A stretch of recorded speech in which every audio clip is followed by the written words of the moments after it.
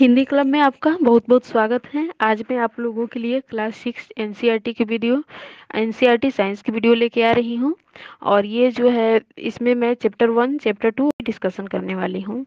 और ये दोस्तों, जो मैंने नोट्स बनाया हुआ है, वो फुल्ली एनसीईआरटी बेस्ड है। और इस नोट्स को बनाने से पहले मैंने जो प्रीवियस ईयर के क्वेश्चन है, उसको दो से तीन बार सॉल्व किए हुए थे और पूरा आइडिया लेके कि किस तरह के क्वेश्चन पूछते हैं, उस तरह से ही इस नोट्स को मैंने तैयार किया हुआ है। और इसको पढ़ लेने के बाद आपका ट्वेंटी फाइव मार्क्स तो फिक्स ही हो जाएगा। जैसा कि मैं, मैंने खुद गेन किया हुआ है twenty five marks C TET में और यूपी टेट में। तो मैं इस, इसे स्टार्ट करती हूँ। मधुमक्खी पालन बिहार के मुजफ्फरपुर ज़िले में होता है। मधुमक्खियाँ फूलों से मकरंद, मीठे रस अक्टूबर से दिसंबर के महीने में एकत्रित करती हैं। जो अब इसे डायरेक्ट अभी इसमें तो नहीं साइंस में नहीं पूछा हुआ है अब तक, लेकिन हो सकता है पूछ दे क्योंकि क्लास सिक्स में इसका ज़िक्र किया हुआ है। लेकिन ईवीएस में भी इसका पूरा पूरा इससे क्वेश्चन बना हुआ है। मैंने खुद ईवीएस का भी सेक्शन देखा है तो इससे क्वेश्चन बना हुआ है। तो उसमें ये पूछ, पूछा हुआ है कि मधुमक्खी पालन बिहार के किस ज़िले में होता है? तो मुजफ्फरपुर ज़िले में होता है। मधुमक्खियाँ फूलों से मकरंद, यानी मीठे रस, किस महीने में एकत्रित करती हैं? तो अक्टूबर से दिसंबर के महीने में एकत्रित करती हैं। और इसके लिए मकरंद को एकत्रित करने के लिए जो है, वो केवल और केवल मादा मधु, मादा मधुमक्खी जो होती है, वो काम करती है। नर मधुमक्खी जो है, वो बिल्कुल ही इसमें कोई हेल्प नहीं करता है। ठीक? और जो लीची का जो फूल है, वो फरवरी महीने में खिलता है। ठीक है? तो ये तो आपको इसका पूरा पूरा क्लियर हो गया होगा। और दूसरा जो है, इसमें क्लास सिक्स में पढ़ना है कि जंतुओं को तीन वर्गों में विभाजित किया गया है। प्रथम जो है, वो शाकाहारी है। शाकाहारी में कौन आ जाएगा? हिरण आ जाएगा। द्वितीय में मांसाहारी। मांसाहारी में बाघ आ जाएगा। और तृतीय में जो है, वो सर्वाहारी। सर्वाहारी में कौन आता है? मनुष्य आता है। क्योंकि आप लोग जानते होंगे कि मनुष्य जो है, वो नॉन वेज और वेज दोनों ही पसंद करता है खाना। तो ये भी क्वेश्चन बनता है कि सर्वाहारी किस, मनुष्य जो है, वो किस श्रेणी में आता है? तो सर्वाहारी के श्रेणी में आता है। अब चैप्टर टू स्टार्ट करते हैं। चैप्टर टू में क्या है? हमारे भोजन के मुख्य पोषक तत्व कार्बोहाइड्रेट प्रोटीन वसा विटामिन तथा खनिज लवण हैं। इसके अतिरिक्त हमारे भोजन, हमारे हमारे शरीर में रुचांश तथा जल भी शामिल है। ठीक है? तो आप ये जानते होंगे कि पोषक तत्व जो है, आप केवल कार्बोहाइड्रेट ले लिए।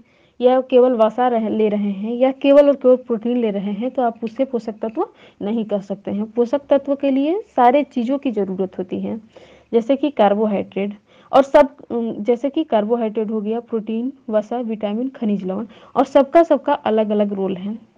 ठीक है? जैसे कि हम बात करने जा रहे हैं कार्बोहाइड्रेट का। कार्बोहाइड्रेट का क्या रोल है? ये जो है, हम लोगों, ये हम लोगों को एनर्जी प्रदान करता है। जैसे कि मतलब अगर कोई बहुत तेज दौड़ता है या ज़्यादा देर तक बातें कर लिया तो वो थकान महसूस करने लगता है। उसके एनर्जी का जो है, वो लॉस होने लगता है। तो एनर्जी के लिए हम लोग क्या करते हैं? ग्लूकोज पीते हैं। ग्लूकोज में क्या पाया जाता है? कार्बोहाइड्रेट पाया जाता है। ठीक है? और प्रोटीन जो है, प्रोटीन को शरीर वर्धक भी कहा जाता है। और प्रोटीन जो है, वो हमारे बॉडी को बना बॉडी को बिल्ड करने में बहुत ज़्यादा हेल्प करता है। और प्रोटीन किसमें पाया जाता है तो प्रोटीन जितने भी दलहनी पदार्थ हैं, उसमें हम लोग प्रोटीन को ले सकते हैं। जैसे कि मटर हो मटर हो गया, सोयाबीन हो गया, मशरूम हो गया और जितने भी दलहनी दलहनी पदार्थ हैं, उसमें हम लोगों को प्रोटीन मिल जाएगा। जैसा कि देखिए, प्रोटीन, ये भी क्वेश्चन पूछता है कि मतलब सबसे अधिक प्रोटीन किसमें पाया जाता है? तो अगर आपको सबसे अधिक कहेगा तो उसमें हम लोग किसको लेंगे? ये मशरूम को लेंगे। मशरूम में नाइन्टी सिक्स परसेंट प्रोटीन पाया जाता है। लेकिन वो उसमें लिख देगा किस दलहनी पौधे में सबसे अधिक प्रोटीन पाया जाता है तो वो हो जाएगा मशरूम हो जाएगा। अरे सॉरी उसमें हो जाएगा आपका सोयाबीन हो जाएगा। और वसा, देखते हैं वसा का क्या काम है। वसा का भी काम है ऊर्जा प्रदान करना। और वो जो है कार्बोहाइड्रेट से ज़्यादा, अगर मान लीजिए कि आप 100 ग्राम अगर कार्बोहाइड्रेट लेते हैं और 100 ग्राम वसा लेते हैं तो आपको वसा में सबसे ज़्यादा सबसे ज़्यादा आपको वसा कार्ब ये एनर्जी सबसे ज़्यादा वसा में मिलेगा। लेकिन कार्बोहाइड्रेट ही अच्छा होता है, क्योंकि आप ज़्यादा वसा लोगे तो क्या हो जाएगा फैट ज़्यादा बढ़ जाता है, जो कि हमारे शरीर के लिए अच्छा नहीं होता है। और विटामिन का क्या काम है हमारे शरीर में? जो विटामिन है, वो हमारे शरीर में जितने भी बीमारी है, उसको लड़ने में मदद करता है। तथा खनिज लवण। खनिज लवण जो है मिनरल्स जो है खनिज लवण या रुक्षांश या जल ये हो, होता जो होता है वो हमारे शरीर को शरीर में जितने भी हम लोग भोजन को लेते हैं खाते हैं उसमें पचने में बहुत ज़्यादा हेल्प करता है। इस इसके तौर पे आप ले सकते हैं। इसके तौर पे आप जितने भी सलाद वगैरह है इसको आप खा सकते हैं। तो आपको मिनरल्स और रुक्षांश वगैरह मिल जाएगा इसमें ठीक है? तो विभिन्न खाद्य पदार्थों की जाँच कैसे करते हैं? ये भी तो ज़रूरी है ना कि जाँच इसको करके देख लें कि किस चीज़ में क्या मिल रहा है। ऐसे हम कैसे बता सकते हैं कि कार्बोहाइड्रेट मान लो कि हम चावल खाते हैं, इसमें कार्बोहाइड्रेट ही है, ये हम कैसे बता सकते हैं? तो ये कार्बोहाइड्रेट के लिए देखो, इसका जाँच बता देते हैं कि क्या जाँच होता है। तो कार्बोहाइड्रेट कई प्रकार के होते हैं। हमारे भोजन में पाए जाने वाले मुख्य कार्बोहाइड्रेट मंड तथा शर्करा के रूप में होते हैं। अब मंड का परीक्षण देख लेते हैं। किसी भी खाद्य पदार्थ या कच्ची सामग्री को लेते हैं तथा उस पर तनु आयोडीन विलियन की दो तीन बूंदे डालकर खाद्य पदार्थ का रंग यदि नीला या काला हो जाए तो वह मंड की उपस्थिति को दर्शाता है। तो मंड की उपस्थिति के लिए क्या करेंगे? आप तो ये दे पढ़ ही लिए कि कार्बोहाइड्रेट में दो तरह का कार्बोहाइड्रेट होता है, मंड और शर्करा जो उसमें पाया जाता है। तो मंड का हम लोग परीक्षण कर रहे हैं। तो मंड में क्या करेंगे हम लोग? दो दो या तीन बूंदे क्या चीज़ डालेंगे? आयोडीन विलियन डाल के हम लोग चेक कर लेंगे। अगर उसका जो कलर हो जाएगा, वो काला या नीला हो जाए तो हम लोग कहेंगे कि उसमें मंड की उपस्थिति है। ठीक है? तो इसके लिए आप ये ले सकते हो, आलू ले सकते हो। आलू को काट लीजिए दो भागों में और उस पे से आयोडीन का विलियन डाल दीजिए। तो वो खुद ही आपको काला या नीला रंग का पदार्थ दिखिएगा ऊपर में जम जाता है। तो ये पता चल जाता है कि किस चीज़ का है।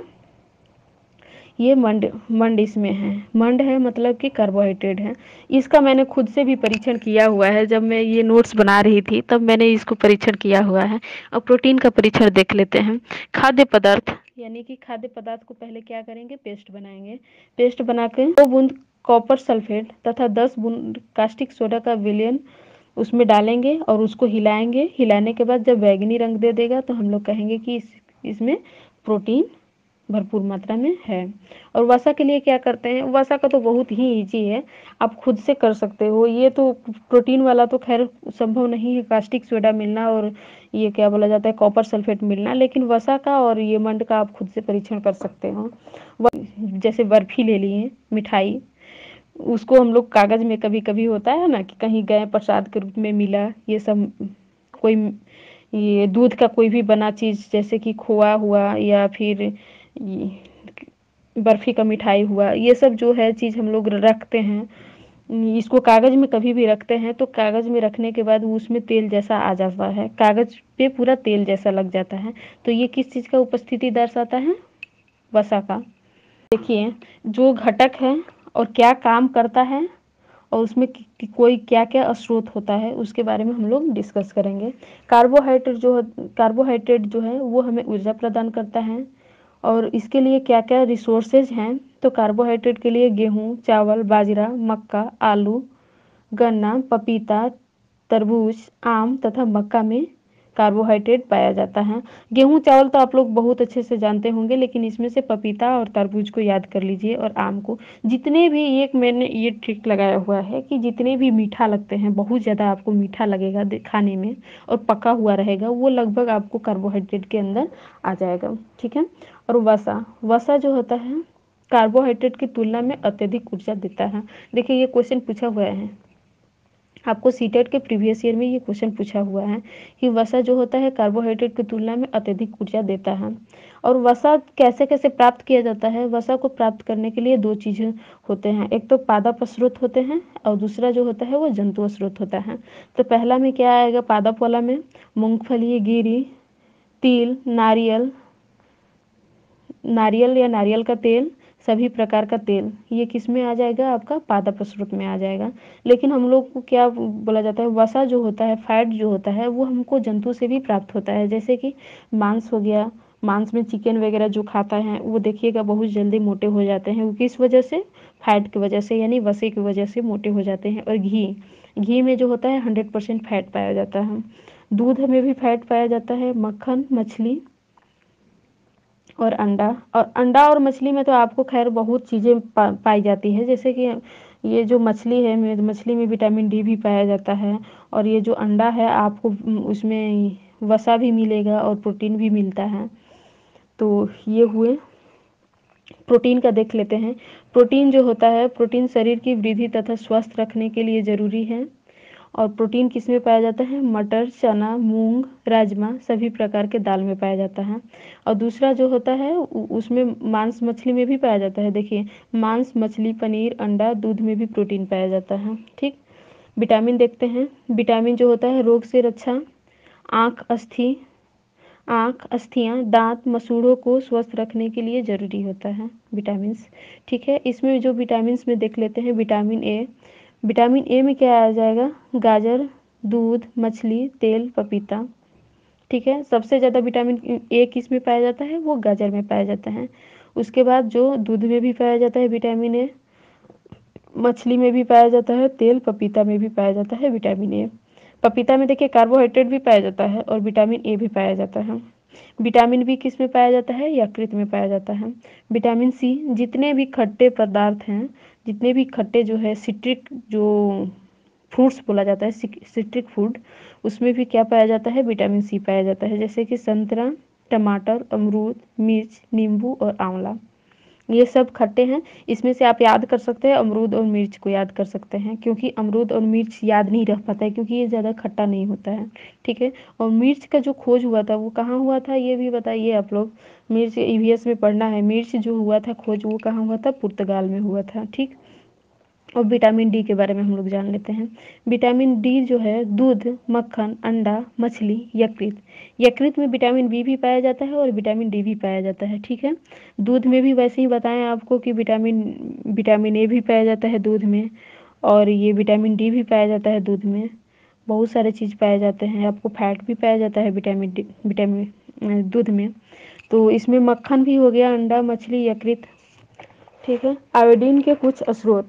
आयोडीन के क्या क्या स्रोत हैं, इसके बारे में हम लोग डिस्कस करेंगे। जैसे कि मछली जो है, मछली में भी आयोडीन पाया जाता है, जैसे झींगा मछली वगैरह जो है, उसमें जो आयोडीन कुछ मात्रा में पाया जाता है। नमक जो, नमक में भी आयोडीन पाया जाता है। अदरक जो है, अदरक में भी आयोडीन पाया जाता है। और झींगा जो है, झींगा में भी आयोडीन पाया जाता है। केकड़ा और पालक में आयोडीन पाया जाता है। ठीक है? फास्फोरस के कुछ स्रोत देख लेते हैं। दूध, केला और मिर्च में फास्फोरस पाया जाता है। सबका जो है, इसमें ये कोई ज़रूरी नहीं है कि अगर मान लीजिए कि मिर्च में आपको विटामिन सी मिलता है तो आपको फास्फोरस नहीं मिलेगा। एक से अत्यधिक, एक से अधिक में आपको एक से अधिक चीज़ें भी मिल सकती हैं।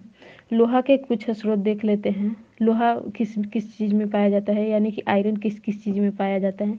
तो सबसे अधिक जो आयरन होता है, वो पालक में पाया जाता है यकृत में भी पाया जाता है।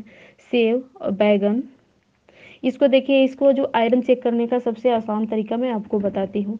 कुछ कुछ चीज़ों में, जैसे सेव हम लोग काटते हैं ना तो उसमें थोड़ा सा जंग जंग, जैसे जंग लगने जैसा एकदम भूरा भूरा उसमें आ जाता है तो उस हम लोग जान जाते हैं कि सेव सेव में क्या है आयरन है और ये क्या है बैगन। बैगन को भी हम लोग जब काट के छोड़ देते हैं तो उसमें भी भूरा पदार्थ आ जाता है।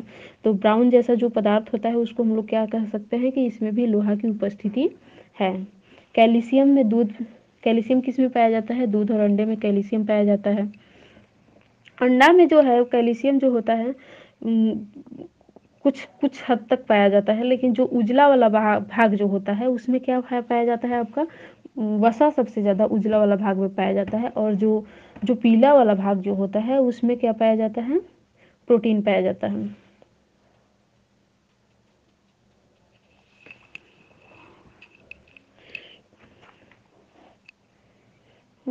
सॉरी गलत बोल दिया शायद।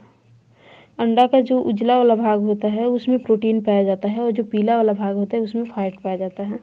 और वृक्षांश के मुख्य स्रोत, साबुत, खाद्यान्न, दाल, आलू, ताजे फल, सब्ज़ियाँ जो होती है उसमें रुझांश पाया जाता है। रुझांश भी हमारे शरीर के लिए बहुत ज़रूरी है, जैसा कि मैंने पीछे डिस्कस कर लिया हुआ है, जो कि हम लोग को मतलब शरीर को बैलेंस करने के लिए, शरीर को सही ढंग से मतलब कि खाने को पचाने के लिए हमें रुझांश की भी ज़रूरत होती है। देखिए कि रुझांश बिना पचे हुए भोजन को बाहर निकालने में हमारी सहायता करता है। भोजन को ज़्यादा देर तक पकाने पर विटामिन सी आसानी से नष्ट हो जाता है। देखिए, ये क्वेश्चन भी बहुत ज़्यादा पूछता है कहीं कहीं कि कौन ऐसा विटामिन है जिसे ज़्यादा देर तक पकाने पे वो नष्ट हो जाता है। तो इसका आंसर क्या होगा? विटामिन सी होगा। आगे देख लेते हैं। विटामिन एवं खनिज लवणों के अभाव से होने वाला रोग, विकार क्या क्या है? देखिए, विटामिन ए की कमी अगर हो जाएगा तो क्या होगा? दृष्टिहीनता हो जाएगा। और दृष्टिहीनता होगा तो क्या होगा? अंधेरे कमरे में कम दिखाई देना। और विटामिन बी की कमी से बेरी बेरी नामक रोग होता है। और बेरी बेरी जब रोग होता है तो उसका क्या पहचान है? दुर्बल पेशियाँ और काम करने की ऊर्जा में कमी आ जाती है। और विटामिन सी स्कर्वी बीमारी होती है। स्कर्वी बीमारी से मसूड़े से खून आने लगता है। घाव भरने में अत्यधिक समय लगता है। ये स्कर्वी क्या बोला जाता है, विटामिन सी की कमी से ही होता है। किसी किसी व्यक्ति को देखिएगा, घाव हो रहा है, हो रहा है, वो ज़्यादा दिन तक ठीक ही नहीं होता है तो वो जान जाना चाहिए कि उसमें विटामिन सी की कमी है। और विटामिन डी देख लेते हैं। विटामिन डी की कमी से क्या होता है? रिकेट्स होता है। रिकेट्स नामक बीमारी जब होगी तो अस्थियों का मुलायम होकर मुड़ जाना, यही इसका पहचान है। और कैल्शियम की अगर कमी होगी तो अस्थि, अस्थियाँ एवं दंत क्षय होने लगेगा। और इसमें क्या लक्षण क्या है? कमज़ोर अस्थियाँ एवं दंत क्षय हो जाता है, ठीक है? आयोडीन की कमी से क्या होता है? घेंघा या ग्वाइटर नामक रोग हो जाता है।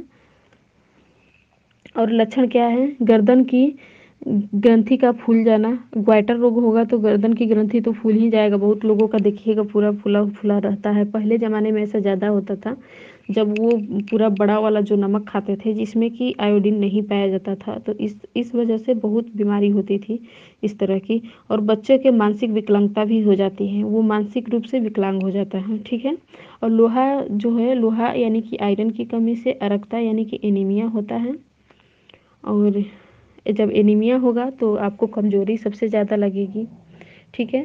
तो अभी लेसन करते हैं। प्लीज़ आप लोग कमेंट करके बताइए। सो थैंक यू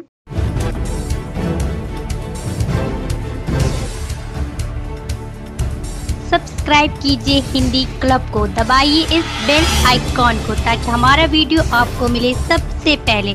शेयर करें अपने दोस्तों के साथ ताकि वो भी इसका लाभ उठा सके। ये सब बिल्कुल फ्री है।